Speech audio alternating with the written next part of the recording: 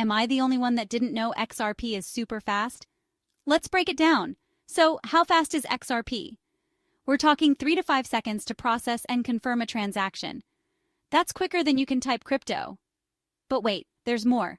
The XRP ledger can handle a whopping 1,500 transactions per second.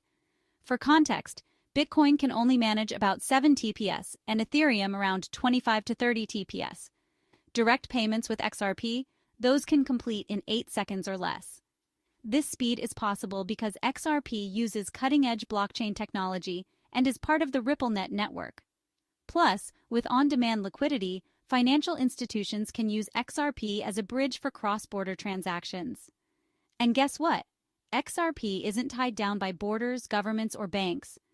It's a global player in the RippleNet network, making it super efficient and ready to go anytime, anywhere.